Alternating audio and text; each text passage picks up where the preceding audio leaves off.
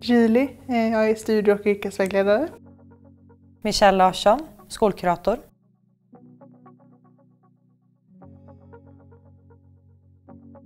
Vi är eh, 12 stycken i elevhälsan. Så vi är eh, specialpedagog, speciallärare, eh, skolsköterska, studie och yrkesvägledare, kurator och ungdomsstödjare. Det finns också tillgång till psykolog och skolläkare på skolan. Ja, elevhälsan är väldigt viktig. Vi genomsyrar hela verksamheten.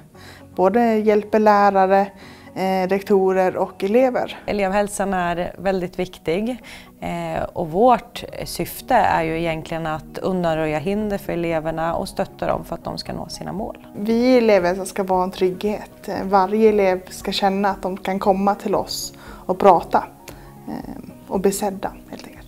Och få det stödet som de behöver. Mm.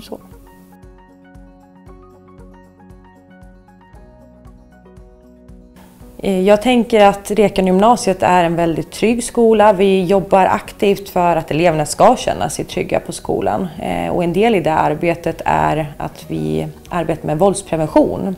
eh, Där vi utbildar både elever och lärare i hur man agerar mot våld. Och enligt våra enkäter då, som vi gör på trygghet och studiero så har vi väldigt goda resultat. Det ligger på en hög siffra som visar då att eleverna känner sig trygga här.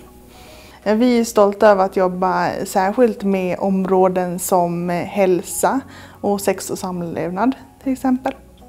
Jag tycker att det är viktigt att eleverna ska veta att våra dörrar alltid står öppna. Eh, att vi är tillgängliga för dem och finns här för dem när de behöver vårt stöd.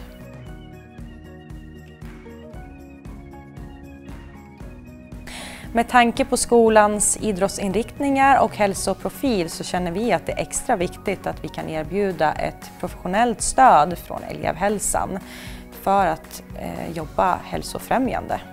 Om du funderar på att söka till Rekane gymnasiet så vill vi att du ska veta att vi finns här för dig.